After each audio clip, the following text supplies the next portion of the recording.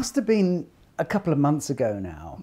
I remember because I was working on the preparation for a recording for the CD label Naxos when out of the blue I got an email from a lady called Mandy from Asia. And she apparently was the promotions manager for a company called SMSL. You've probably heard of them. And she asked me if I would be prepared to do a video review of their new amplifier, the VMV A1 Class A amplifier. So I did a little bit of research on this amplifier and I saw that it was really, really small. And with a price point of 650 US dollars, I thought, wow, this can't be for real. And so anyway, I, I, wrote a reply saying, Dear Mandy, thank you very much. It was great and very kind of you to think of me. However, I just want to point out you can happily can send it to me, but if I don't find it of suitable audio quality so that it could be matched with our speakers or I could recommend it for other people in their systems, then thank you, but I won't do the review. I will simply return it to whatever address you wish. She said that's fine. Um, but if I liked it, I could basically keep it. So, on that premise, a few weeks later, this parcel arrived. And coincidentally, it arrived on the same day that the Pass Parselabs distributor took away the Pass Parselabs XA25. You've probably seen the video I've done of it. So it was kind of a coincidence because this huge lump, 30 kilo lump of a Pass Parselabs amp was lifted off into a box. And a couple of hours later, I was installing in the very place this tiny little amplifier. And it came with this rather neat remote control, beautifully made, nicely anodized aluminium, sort of finished aluminium thing. But it just just looks silly, really. I mean, it, it's so small, and I just couldn't believe it. So I connected everything up, and I sat back and I started listening to some of the recordings that I've been listening to whilst doing the Pass Labs XA25 review. And I was kind of excited and disappointed at the same time because my logical brain was saying, this is going to sound rubbish this is not going to last long. You've got plenty of work to get on with, so just listen to it for a couple of minutes and then pack it up and say thanks very much and send it back to wherever it came from. However, I didn't really like it the very moment it started. There seemed to be some treble missing or something, I don't know. And but my God, it had a lot of punch and bass and what the hell is this? So I let it warm up went off, grabbed a coffee, came back and started again. And my goodness me, was I impressed. Um, basically, it was the full thing. It, it sounded like a good tube amplifier, but with a lot more bass and a lot more control. I mean, when I compared it with the 40 watt per channel monoblocks that I have with a 300B yeah, maybe the soundstage wasn't quite as, as broad and three dimensional. Maybe, maybe. But the overall image was fabulous and, and, and the sound was great and the bass was deep, deep, deep and, and clear and precise. And when um, this, the wooden stick hit the snare drum, it was bang, it was on there. Again, like the XA25, not in front of Willie Nelson on his um, album, but just behind him. And when I was listening to some other solo jazz drumming, it was fantastic. And then a couple of weeks ago, I was invited to be on the jury to choose a soloist for a symphony orchestra. And a lot of the soloists who were applying were violinists and they were all playing Mozart violin concertos. So I sat down and listened to number three, number four, and number five right through one after another. Now, doing this, even with Anne-Sophie Mutter and Herbert von Karajan um, together on the Deutsche Grammophon, normally listening to all three is really, really tiring. Um, but this little amp was great. It, it, the violin wasn't harsh, it wasn't sharp, it wasn't screeching, I wasn't getting fatigue. It was quite it's a relaxing experience, but it wasn't like a Luxman Class A amplifier I heard recently, which was like marshmallows. It was all warm and beautiful and cozy, but coloured, sorry to say. And lovely, but no, it wasn't. It was clean, it was precise, had a lot of attack, um, and a, a really good little amplifier. So I was kind of amazed. So this got me thinking, you know, in many, many ways, this little 10 watt per channel amplifier was sounding as good, even similar, shall I say, to the Pass Labs XA25. I just couldn't believe it. So I was thinking $650 versus roughly $5,000. Okay, it's only 10 watts per channel, but in my room, which is a modestly sized room, it's six and a half meters long, it's five meters wide, four and a half, five meters wide.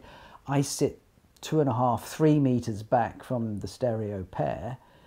It's going plenty, plenty loud enough before there's any sign of distortion possibly appearing. And of course, being more or less class A, it's probably a high bias class A. Um, there's no unpleasant distortion at any point. So it goes plenty loud enough. And it really proves the point I was making in the previous video about, you know, how much power do you need? Uh, how, how loud is one watt? I mean, it's, it was blasting through. Um, so when I reflect on this, and I know there's going to be a lot of Pass Labs people getting very upset. Don't throw bricks at the screen just yet. Just hear me through. I was thinking, if I was starting out again today, I think instead of paying 5,000 euros on the Pass Labs XA25, if I was starting out, I would pay $650 for this little amplifier.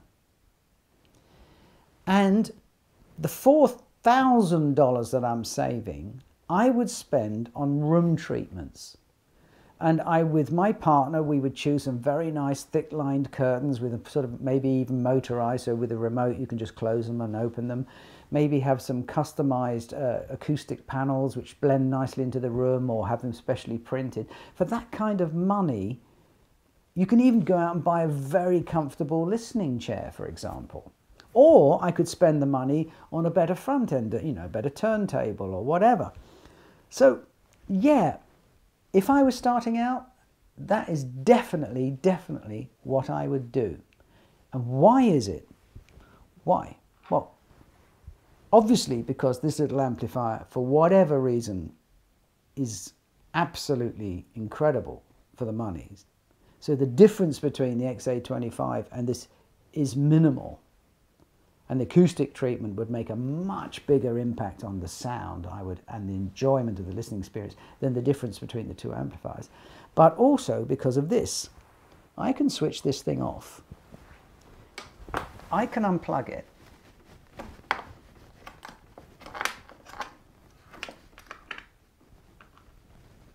Ah, well, when I can unplug it, I've got these lovely screw connectors.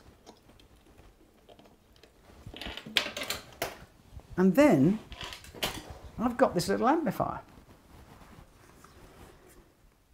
And I can take this little amplifier into my office and hook it up to my monitors, my desktop monitors because I've got a pair of vintage Rogers 15 ohm LS3/5As as my desktop monitors. And I did just that. I unplugged this, I took it next door to the office, and I replaced the little SMSL 50 watt per channel amp that I had on there because it was so small, it was the only thing that fitted neatly on the desk.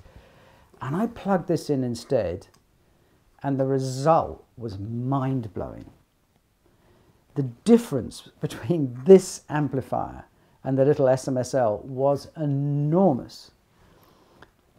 The extra bass, and in, in a way, there was more bass and more punch coming from this than there was from the XA25. And maybe with a full range speaker like we have, which is goes right down to 38 hertz, maybe it's a little bit too much at times, especially when you're listening to jazz with a double acoustic double basses, you know, right up in the mix. But for rock music and classical music, absolutely no problem at all. When I hooked this up to the LS3/5As, it was fantastic. I mean, the LS3/5As were a bit thin and a bit hollow in the bottom end, especially with that budget amplifier. And this solved all of it. The the bass was powerful, it was punchy, it was fast, it was extremely detailed. The mid range was warm and smooth, but not colored, it was just natural. Everything that the LS3 5A should be. The treble was all there and it was lively, it was nice. Mm, amazing. And I can completely understand what this is about.